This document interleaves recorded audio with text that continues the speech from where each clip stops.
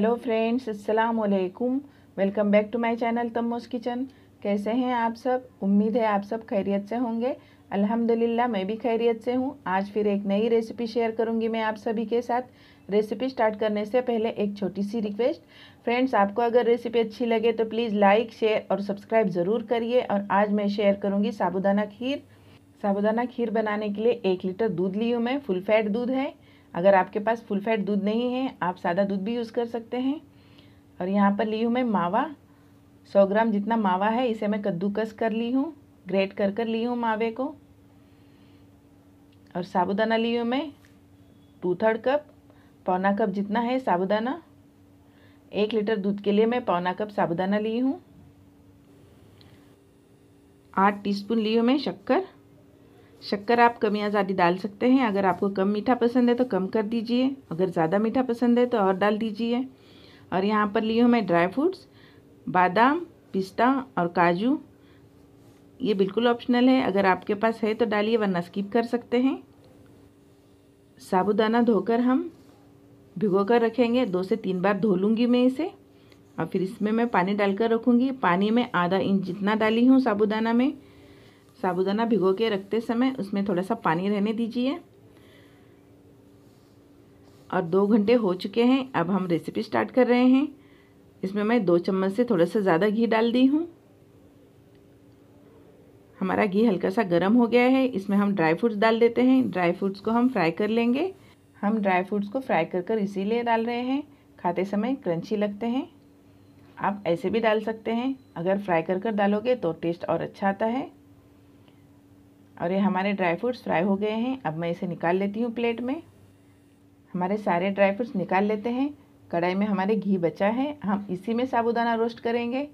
एक अनोखा तरीका है ये साबुदाना खीर बनाने का। सबसे अलग तरीके की खीर बना रहे हैं हम। ये खीर ना ही चिपचिपी लगेगी खाने में। और देखिए आप एक बार बनाकर इसका टेस्ट कितना अच्छा है। आप मेरी रेसिपी ज़रूर ट्राई किया करें। मेरी रेसिपी का टेस्ट बहुत पसंद आएगा आपको। हम साबुदाना को हल्का सा रोस्ट कर लेंगे। दो से तीन मिनट ही रोस्ट करेंगे, ज़्यादा रोस्ट नहीं करेंगे। और मैं हाई फ्लेम पे इसे रोस्ट कर रही हूँ। और गैस की फ्लेम बंद हो गई थी, हवा आ रही थी खिड़की से। अब मैं चालू की हूँ, हाई फ्लेम पे ही इसे हम रोस्ट करेंगे। और तीन मिनट हो चुके हैं, अब हम इसमें डाल रहे हैं मावा। मावा मैं कद्दूकस कर ली हूँ। साबुदाना हमारा गर्म है, मावा बहुत जल्दी मेल्ट हो जाएगा। और आप देख सकते हैं, साबुदाना बहुत अच्छे से मावे में मिल रहा है। हम मावे को दो मिनट के लिए साबुदाना के साथ रोस्ट करेंगे।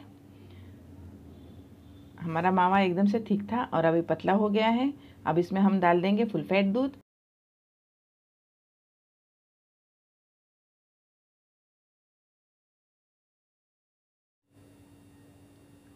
हमारा साबुदाना पकना स्टार्ट हो गया है दूध में। अब हम इसे पकाएँगे 10 से 12 मिनट हाई फ्लेम पे और चम्मच को चलाते रहेंगे। अगर हम छोड़ देंगे हाई फ्लेम पे तो दूध गिर जाएगा, खीर हमारी उबल कर गिर सकती है। अगर हाई फ्लेम होगी तो आप इसे छोड़कर कहीं मत जाइएगा, खीर के पास ही रुकिए।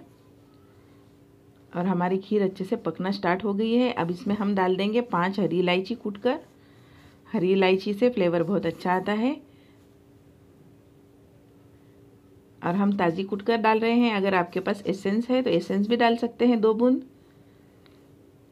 इसे मैं अभी हाथों से क्रश कर कर डालूँगी। मसल कर डालेंगे हम इसे। हमारी खीर माशाल्लाह बहुत अच्छे से पक रही है। हम इसे 10 से 12 मिनट टोटल हाई फ्लेम पे पकाएँगे। हमने इसमें मावा डाले हैं। बहुत जल्दी ठीक हो जाएगी हमारी खीर। इसमें हम आप शक्कर डालेंगे। जैसे खीर पकना स्टार्ट हो जाएगी, दूध उबलने लग जाएगा, इसमें हम डाल देंगे शक्कर।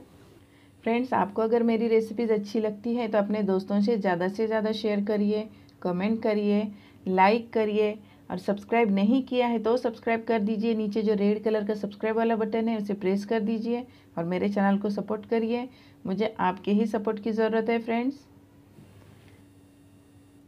आठ से नौ मिनट हो रहे हैं हमारी खीर पकते समय। अब हम इसे और दो से तीन मिनट पकाएँगे और बंद कर देंगे फ्लेम। देखिए, हमारी खीर बहुत अच्छे से ठीक हो गई है। अब हम फ्लेम को बंद कर देंगे और इसमें थोड़े से ड्राई फ्रूट्स ऐड कर देंगे।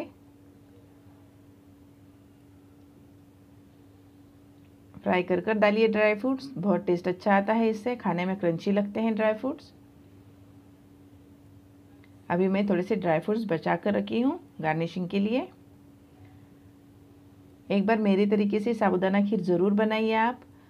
आई होप इसका टेस्ट आपको बहुत ज़्यादा पसंद आएगा। और बनाना भी बहुत आसान है। अभी थोड़ी सी पतली है खीर हमारी, ठंडी हो जाएगी तो और ठीक होगी, इसलिए मैं ज़्यादा पकाई नहीं हूँ इसे। अब मैं इसे निकाल रही हूँ बाउल में। खीर को हम निकाल कर थोड़े से ड्राई फ्रूट से गार्निश करेंगे। हम लोग साबुदाना की खीर बनाते हैं, चावल की खीर बनाते हैं। आपने भी बहुत बार बनाई होगी। एक बार मेरी तरीके से भी बनाकर आप ट्राई करिए। हमने जो निकाले हैं बाउल में खीर, उस पर हम और थोड़े से ड्राई फ्रूट्स डालकर गार्निश कर देंगे, ताकि दिखने में और अच्छी लगे हमारी खीर।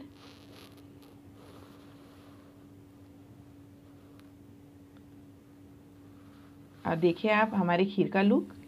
फ्रेंड्स, आपको अगर मेरी रेसिपी में कोई चीज़ अच्छी नहीं लगी हो तो मुझे कमेंट कर कर बताइए, मैं इम्प्रूव करूँगी। और मुझे यकीन है फ्रेंड्स, आप मेरी रेसिपीज़ देखकर लाइक ज़रूर किया करेंगे। फ्रेंड्स, है ना एकदम से आसान तरीका, ये साबुदाना खीर बनाने का, और इसका टेस्ट भी आप देखिए। आई होप इसका टेस्ट आपको पसंद आएगा। ये साबुदाना खीर सुपर टेस्टी है सुपर डिलीशियस है, और बनाना इसे बहुत ही आसान है। साबुदाना खीर एक बार मेरी तरीके से ज़रूर बनाइए। इन कल फिर मैं मिलूँगी एक नई रेसिपी के साथ। अपना ख्याल रखिए सेफ़ रहिए। अल्लाह हाफिज़। अपनी दुआओं में याद रखिएगा। Thank you for watching